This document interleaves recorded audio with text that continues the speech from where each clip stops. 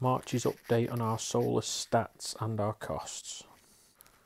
You can freeze these next two frames if you want to know our setup at home and we have been using infrared heating throughout the 2021-22 um, heating seasons. On the 1st of March we've moved to Intelligent Octopus tariff um, which is 23.5 pence standing charge and 7.5 pence off peak and 32.5 pence peak times. Our energy usage or our home usage for March was 1,624.5 kilowatt hours, which was an average of 52.5 kilowatt hours per day. We had a low of 14.5 kilowatt hours and a high of 102.2 kilowatt hours. From the solar, we got 809.5 kilowatt hours. Our worst day was 3.5 kilowatt hours, and our best day was 46 kilowatt hours, which has given us an average of 26.1 kilowatt hours per day. From the power wall, we got 478.6 kilowatt hours, and that's averaging 15.4 kilowatt hours and our net grid usage was 871.6 kilowatt hours. We had plenty of excess solar in March and we diverted 91 kilowatt hours of that excess solar to the water and a massive excess solar of 170 kilowatt hours um, went into the cars. According to the Tesla app, we were 60% self powered throughout March and our solar was 49% of our home usage.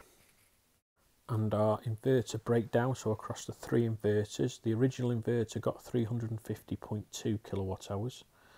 We got 340.5 kilowatt hours for the other 3 kilowatt inverter.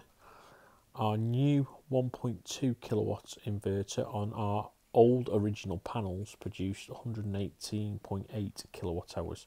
So that's a total of 809.5 kilowatt hours measured at the inverters.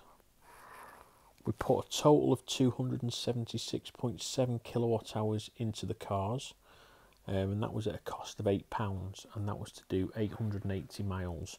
We did 360 miles in the MG5 and 520 miles in the e-Golf.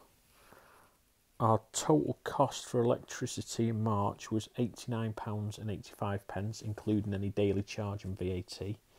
Um, and that was for the 872 kilowatt hours that we pulled from the grid.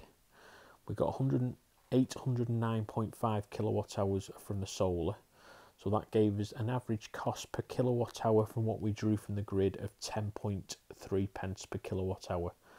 And the average cost per kilowatt hour, including the solar, through March was 5.3 pence per kilowatt hour. Our yearly averages, now including the solar, are 6.8 pence per kilowatt hour, and that's on the intelligent tariff that we mentioned earlier. The home usage of 1,624.5 kilowatt hours in March, uh, 41% of that went on the heating at 507.7 kilowatt hours at a cost of £52.43. 14% of it went on the car charging at 276.7 kilowatt hours at a cost of £8. We exported 30.5 kilowatt hours. Um, 19% of it went on hot water of 310 kilowatt hours at a cost of 14.89 pence. Sorry, 14 pounds and 89 pence. Um, and 219 of them came from the grid. Our general home usage came to 324 kilowatt hours or 20% at a cost of £22 and 3 pence. The fridge freezer used 31.3 kilowatt hours or 2% of the home usage at a cost of £2 and 12 pence. Washing and drying clothes came to 3% of 60.5 kilowatt hours at £4 and 11 pence. Um, the dryer does use more than the washing machine at 37.1 kilowatt hours, where the washer used 23.4 kilowatt hours. 3% of the energy went on cooking, of 44.7 kilowatt hours at a cost of three pounds and three pence. And we will be adding another section to the pie um, in April because we've moved to electric hob now and the actual gas is completely gone. And finally, the dehumid dehumidifier used 36.3 kilowatt hours or 2% of the home usage at a cost of £2 and 35 pence. And when we had our heating together throughout 20, 2021 heating season to 2022, um, we've now got a total usage in our heating of 4,443.2 kilowatt hours and it's cost us £328.96. And to summarise up to the end of March 2022, we've now been grid free for 10 days. We've travelled 2,164 miles at a cost of £35.65. We've imported 4,687 kilowatt hours. We've had a solar contribution of 1,616.7 kilowatt hours. So that's that's a total electricity of 6,303.7 kilowatt hours, and that's cost us £422.31. We've had a gas cost of £21.32 and that won't go up at all now. Um, from now on because we are gas free the gas meter has been removed and that's a total cost um, throughout of 2022 of 443 pounds and 63 pence up until the end of March that is. We've had one fit payment totaling 203 pounds and 60 pence.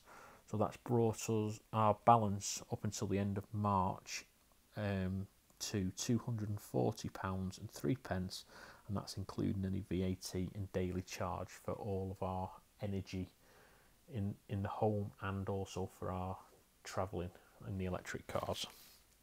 As usual, thanks for watching and please like and subscribe and if you've got any comments please add it to the section below and I'll leave you with the Tesla home usage data from the app um, on a day by day basis.